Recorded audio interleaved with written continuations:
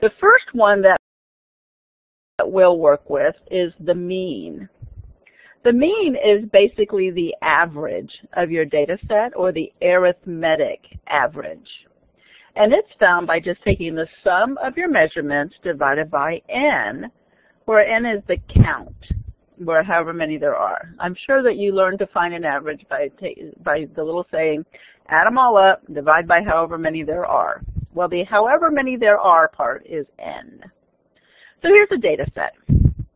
36, 6, negative 2, 27, 32, 3, 2, 12, 13, and 22.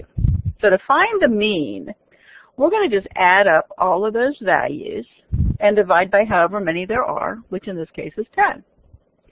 So 36 plus 6 plus negative 2, etc. is 151. Divide that by the 10, and we get a mean of 15.1. Okay? These calculations, um, ALEKS will always tell you how far out to, to, um, to put an answer when you're going to um, type in the answer. It'll say one decimal place or two decimal places or whatever rounding it wants. But in general, you ought to leave as many places as possible in your intermediate work. So if all these things have decimal points, you would want to leave them as decimals as you're adding them all up and such, because that helps keep helps you get more accuracy. Now the second measure of central tendency is the median. The median is the middle value. And in order to find a middle value, you basically have to rank your data. I've taken the same set of data that we had a minute ago, and I've just put it in order. So the smallest number was negative 2, and then positive 2, 3, 6, 12, and so on up to the largest value was 36. So the middle value there are 10, so the middle value would be between items 5 and 6, so that there's 5 on the left and 5 on the right of the median. So in this case, the median is between 12 and 13. So we'll add them together and divide by 2.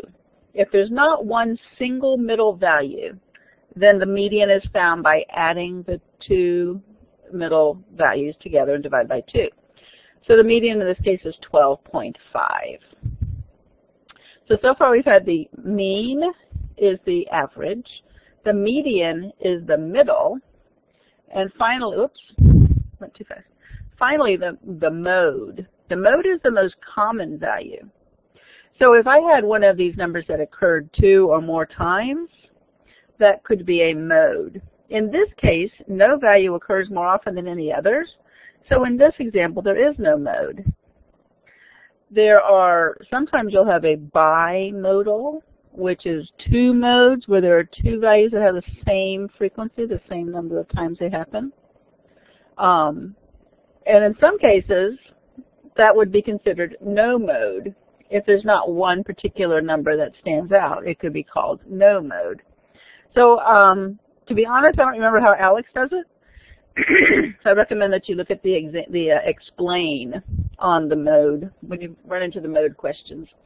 Have it explain it to you and then see whether or not it's going to allow you to have bimodal or if it wants it to, to be just a single mode.